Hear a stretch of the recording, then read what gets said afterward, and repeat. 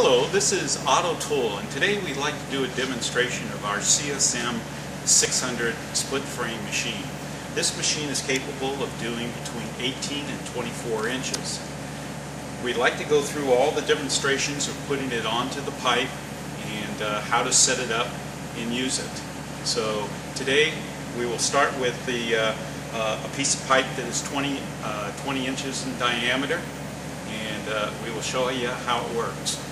First we're going to have to go and put the lower part of the clamshell onto the pipe with the piece that's already on, sitting on the pipe. So we will start with that.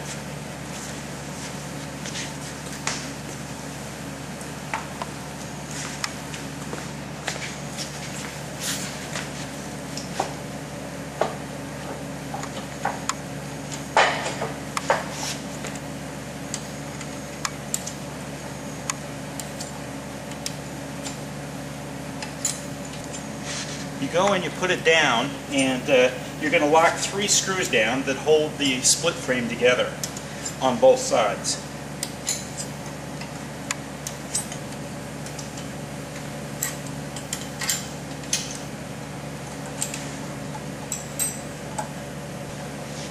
After you get all six bolts tightened down, now you're going to have to adjust your four pads that clamp down the uh, clamshell to the pipe.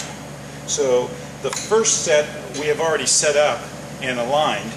Now we're going to go through and clamp down the last part.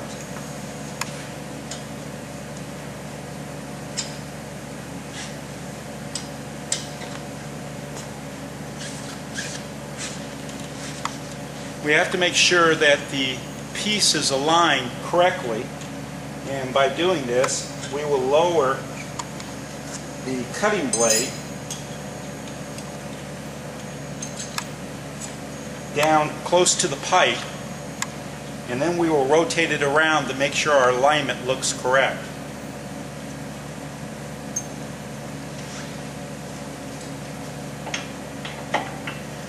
Before you put the air motor in, there's a clamp that will lock it. We have to pull the lockout pins out. And just, this will let the piece rotate around.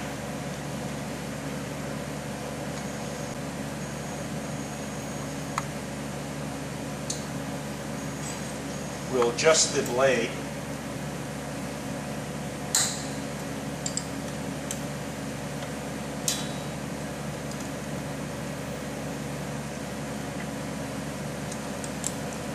Make sure they're all snug, tight.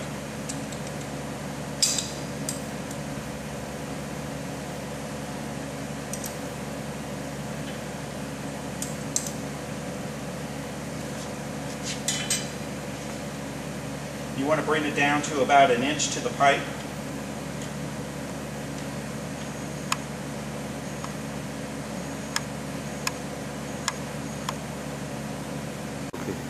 Now that we have gotten our uh, cutting tool close and center, so when it travels all the way around, we have lined our pads up, we are now getting ready to cut.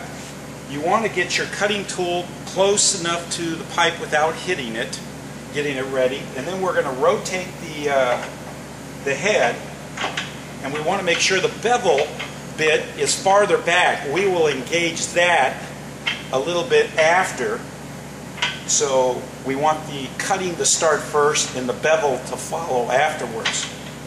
So now that we're getting this, we want to make sure this is back far enough so when it starts feeding in, it won't start feeding in until after the, uh, the uh, cutting bit is in deep enough to uh, start your bevel. So the next thing we're going to do, after we've now adjusted our tool bits, we have adjusted our pads, we've got everything aligned, we want to set up and put the air motor on. Lock in our air motor.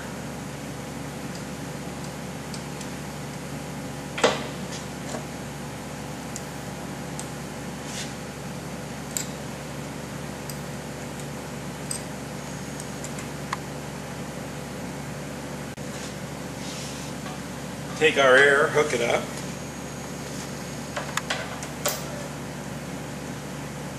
And we want to slowly rotate it around. Make sure that we don't have any type of problems with the bit hitting.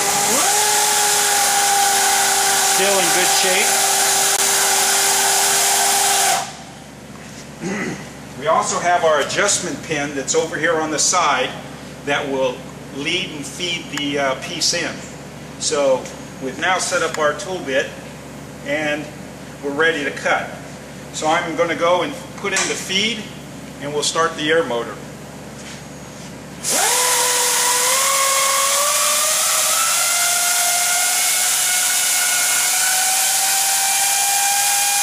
We'll take a couple minutes for it to feed in.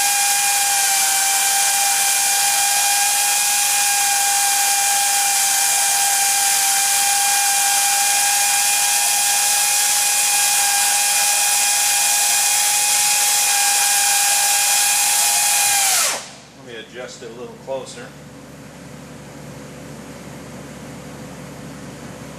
There we go.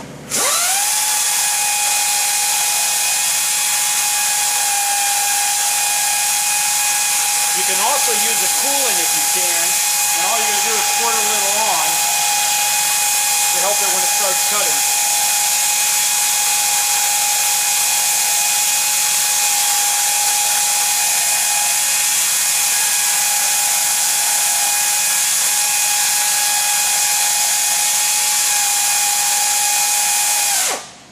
Yeah, feed it in a little bit more.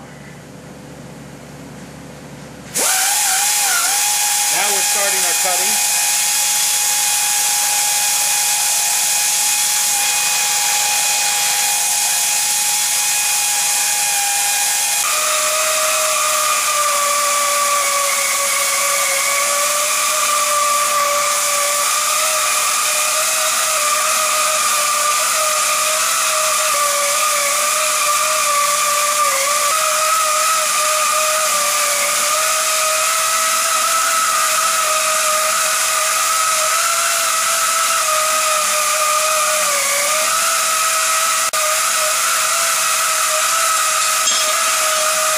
As you can see, we cut it off, and we just about have our